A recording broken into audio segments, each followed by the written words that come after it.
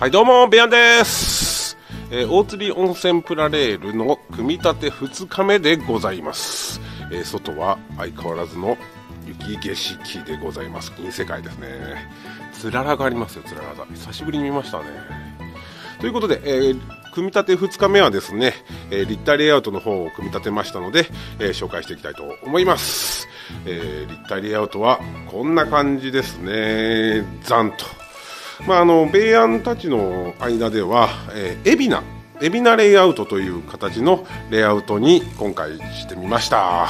まあ、海老名の特徴はどんなのかっていうのですですけども基本はですね一条レイアウトの発展版になるんですよ。ここの、えー白いところこのぐるーっと外側ですね。こちらの方が1畳のサイズになってましてそこからここの出っ張りが出るんですよ。2つ2つというかこっちですね。マックスが。でここから 12345S 5S というか5個直線が入る感じになるんで、まあ、こうやってちょっと出っ張りが出るんですよね。普通の1畳と違ってこんな感じで。こちらも出っ張りがあります。こんな。カーブ適用があるところですね。これが一あの海老名のちょっと特徴でもありますよね。でそこからですねあのここに直線2つつけてあの出っ張らして、えーこんな感じで筋のひな壇にしてみました。こっち側をね。で向こう側はこんな感じでああの反対側よりねちょっと高めのようにしてでここはあの坂カーブをカラフルにしてみました。赤オレンジ黄色白というふうな形でね。でここはカーブのカーブ適用の S 字を入れてみました。かっこいいでしょ結構。これベアンちょっとお気に入りですね。で上はあの一行の部分ですね。ここの一行の部分はクリアレールと白橋脚を使ってちょっとあのおしゃれにしてみました。本当ね、エビナレイアウトって組み立てるときにすごく楽しいんですよ。あのいろんなルートが使えるので、あの通常の1行だと大体ね、あのぼちぼち決まってたりするんですよね、ルートの取り回しが。ただエビナになるとやっぱりこれだけね広がる部分。分あのいろんなルートが使えるのでもう組み立ててるときとにかく楽しくてねあのこのルート使ってやれとかなったので本当楽しかったです。でただいつもねあの机から組み立てるので14、5段ぐらいしかあの高さが取れないんですよね。ただ今回やあの一番上のこのプラロード大鉄橋のこのオーバルのところでだいたい20段があるので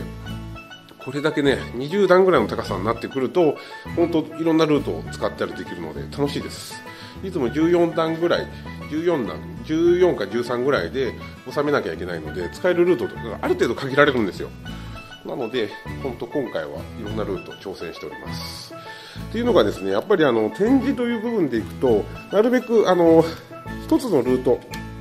に対して、まあ、何個か橋脚ルートをつくつけるっていうね分かりますかね。例えばこれがここのラインがあの1つしかレールが走ってなかったらですねかなりこの橋脚の強度が落ちるんですよね。なので必ず1つのこの柱に対して2回か3回ぐらいはあの使うという風になるのでそれがですね14段15段じゃなかなか難しくなってくるんですよね。ただ今回高さがあった分それを確実にやれてるんですけどなので強度もぼちぼちあったりするのであのあ遊びに来たね。お子さんたちに楽しんでいただけるんじゃないかなと思います。はい、えー、どうでしょうかエビのレイアウト。かっこいいでしょ。この立体感がいいんですよね。もうメリハリというか。これが好きでベアンちょこちょこ使いますけども。はい、えー、2日目に組み立てた、えー、エビナレイアウトでございます。で今回ですね、えーこの津山駅の方津山線というか津山駅を再現して、えー、紀信線と津山線とっていう風になってるんですけどそこで走らす車両なんですけどこちらになりますねざんと、えーこちらが、えー津山線を走る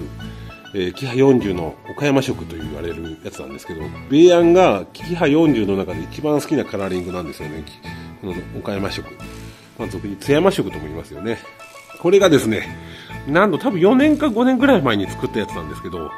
それが実際の、えー、米安が再現した津山駅に行けるという。で、しかも走ってた津山線を走れるというね、本当ちょっと嬉しいですね、これはね。もう、それを見越してたかのように作った感じですよね